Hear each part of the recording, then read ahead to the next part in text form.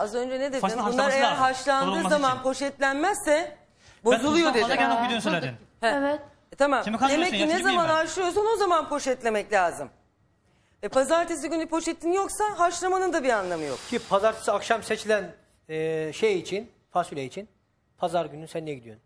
Pazartesi Mantıksız. günü poşet Ya almak turşunun fazla lazım. geleceğini bilmiyor zaten uyumadan. Ki Evet. poşet lazım olsun. Sen şimdi niye attın o turşu meselelerini? Sen bir anlat bakayım şimdi baştan Neyi? ana.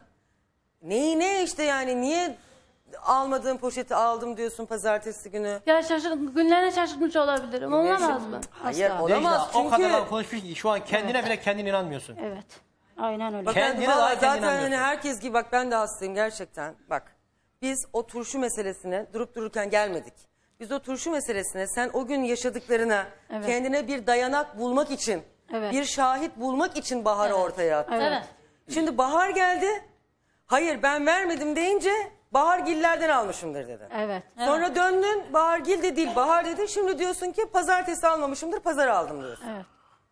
Yavrum niye sen sürekli yalan söylüyorsun bu pazartesi günüyle ilgili? Ya şaşırtmış olabilirim ama gerçekten cinayetle bir ilgim yok, alakam yok ya.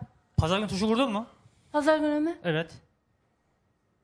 Uydum mu? Hatırlamıyorum ama pazar günü uydu. Pazar Pazar günü sen- kurtulmadın pazar günü Dolma sarmıştı bu. Ha? Dolma sarmıştı pazar günü. Turşu yok. Hayır. E tamam turşu yoksa poşet niye alınsın? Kuşluk daha önce toplanacaktı zaten pazar günü.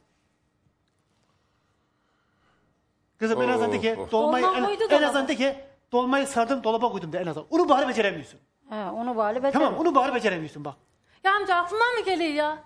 Her şey konuştuktan sonra böyle çözüldükçe aklıma geliyor. Ya Rabbi sen büyüksün. O zaman Çözüldükçe Necla, aklına gelmiyor.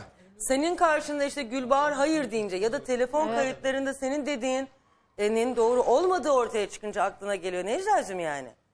Yavrum. İşte böyle konuşa konuşa aklıma geliyor. Bu bahar karşımda olduğu için değil. peki Ama bunlar Necla'cığım aklına yani sen de gelmiyor şimdi da. böyle bir hani kambiyo şirketinin başında olup da biz de sana dakika dakika hani ne yaptığını falan sormuyoruz ki yani. Yaptığın şey belli. Zaten bebeğin var deyip ne tarlaya gitmişsin, ne ahıra gitmişsin, ne ona gitmişsin, ne buna gitmişsin. Anam yapıp getiriyor, ne gerek hem var? kadının topladığı şeyin... Anan yapıyor da tek mi yapıyor? Anam anam demek ki tabii. Sus Senin anan yapıyorsa bizim anamız da yapıyordu. Ay vallahi Sen kusura ana bakma. yanındın ana gelemezsin kızım rahmetli ana. Kıyına gelemezsin. Ne o be sarımsağı zaten istemesine gelemedim. şaştım yani. Sen anam bu yana ana yan-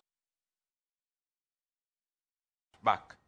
Ve Ana acısı da burada yok sende be. e, ölümü aydınlatmaya çalışmak için hepsi geldiler. İşlerini bıraktılar geldiler. Evet. Ve burada senin söylediklerin çok önemli. Çünkü kadını son gören de sensin muhtemelen. Evet. Doğal olarak sen doğru konuşmayınca ardı ardına doğru olmayan bilgiler verince tek sorumlu da sen oluyorsun.